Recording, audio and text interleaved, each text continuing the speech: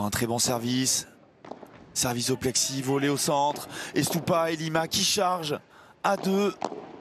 Qui vont venir essayer d'aller chercher ce break. La petite volée courte de Bella.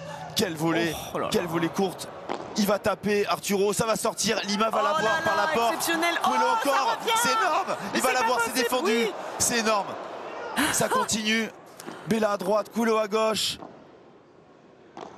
Mais c'est exceptionnel. Il l'a. Il tape en Ce face sont des Coelho, monstres, la demande, il va la finir. Oh là là C'est Oh monstrueux C'est exceptionnel Et ça offre deux balles de match à Arturo Coelho et Fernando Velasteguin. Ce sont des mutants. Ils ne sont pas humains, ces hommes-là. À quel point, quel point, quel point À ce moment de la partie, 6-5 30 A et la Coelho tranquillement qui dépose cette balle dans la porte.